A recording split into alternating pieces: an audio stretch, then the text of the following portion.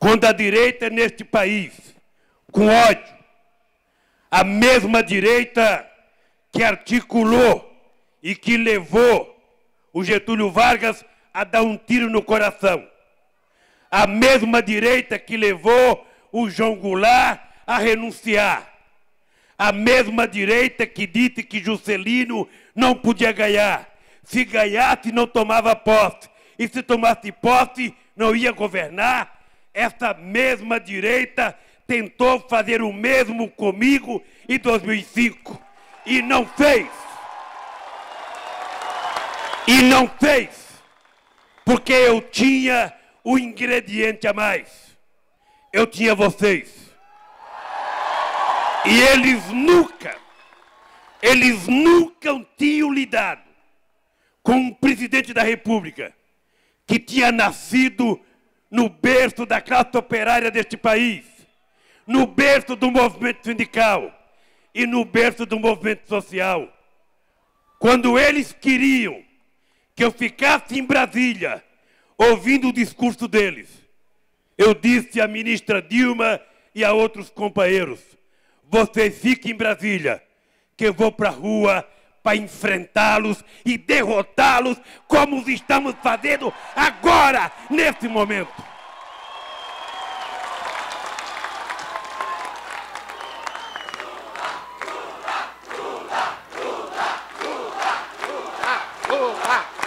Eu já disse, já disse para Dilma duas vezes.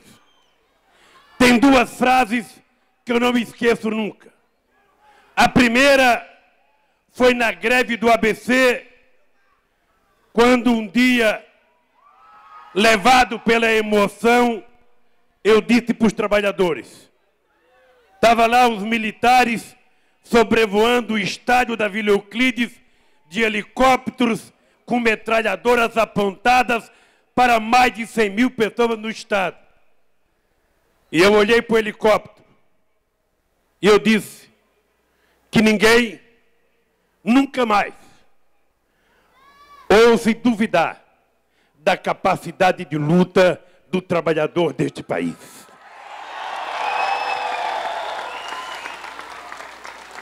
Depois, na cidade de Catanduva, em São Paulo, uma vez uma menina me deu um bilhetinho. Me deu um bilhetinho que dizia assim: Lula, Lula, os poderosos poderão matar uma, duas ou três rosas, mas jamais eles conseguirão deter a chegada da primavera. E a chegada da primavera está chegando em Santa Catarina e está chegando no país com Indeli e com Dilma. Mas eu queria dizer para vocês hoje uma coisa muito especial.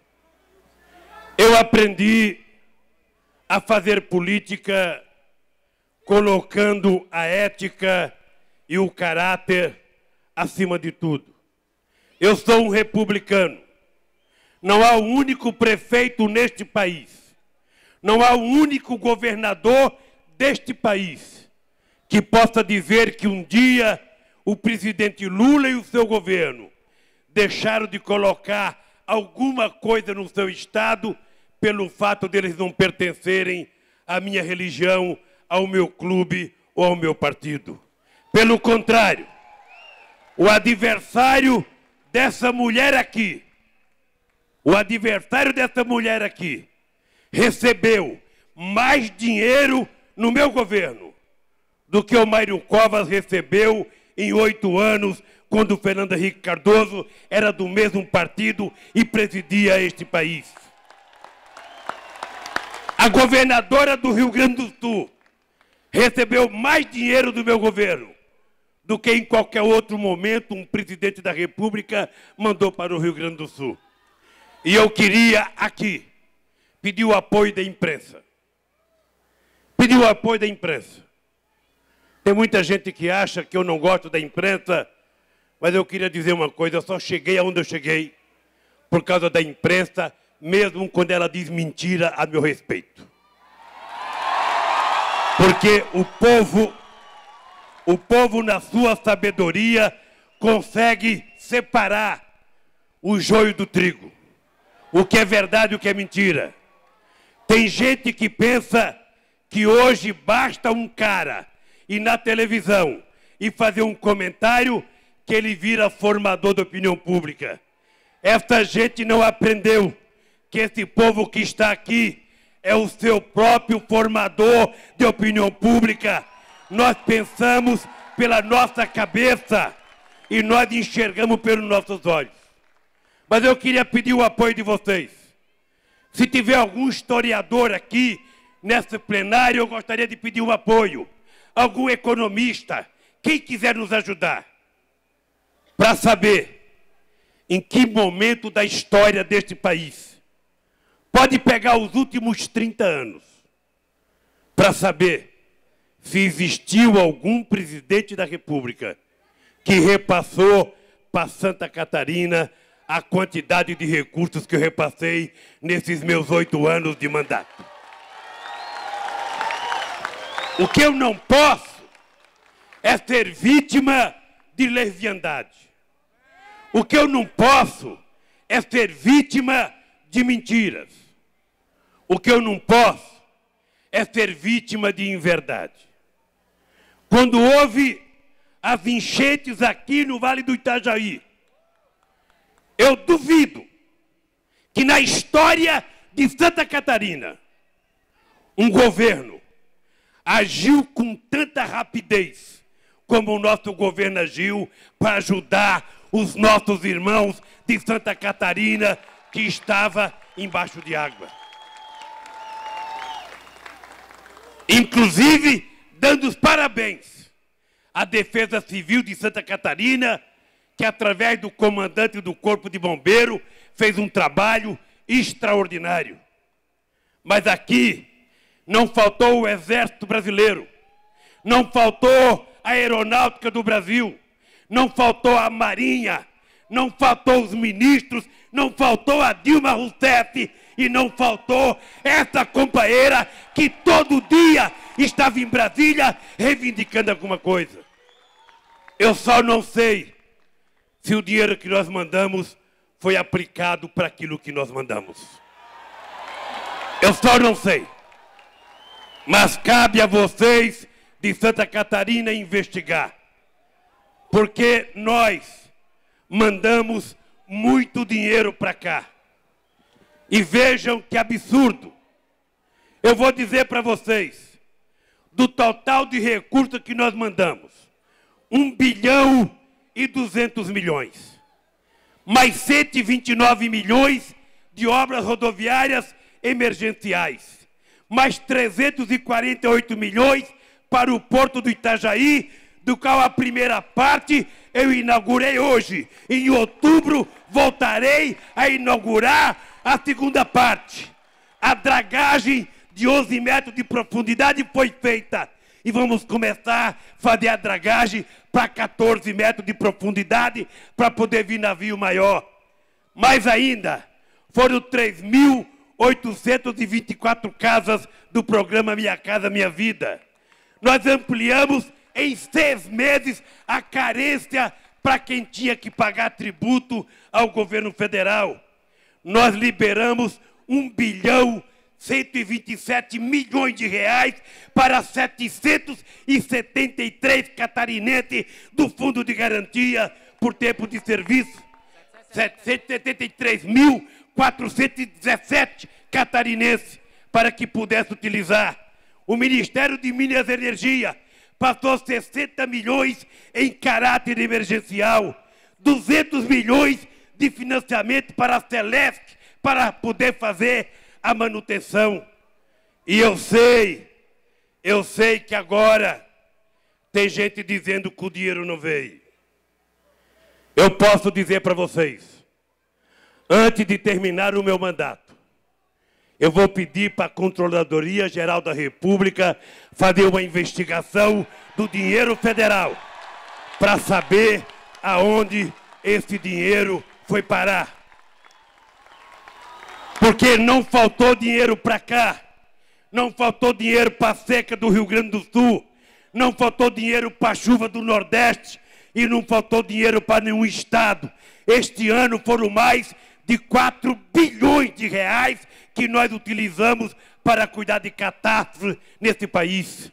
Por isso eu não posso admitir, em nome da minha honra, em nome da honra deste país, e eu digo todo dia, o único legado que eu recebi na minha vida, a única herança que eu tenho na minha vida, foi a conquista me dada por uma mãe analfabeta de andar de cabeça erguida e eu não vou perder a troco de mentira ou de safadeza de quem quer que seja neste país.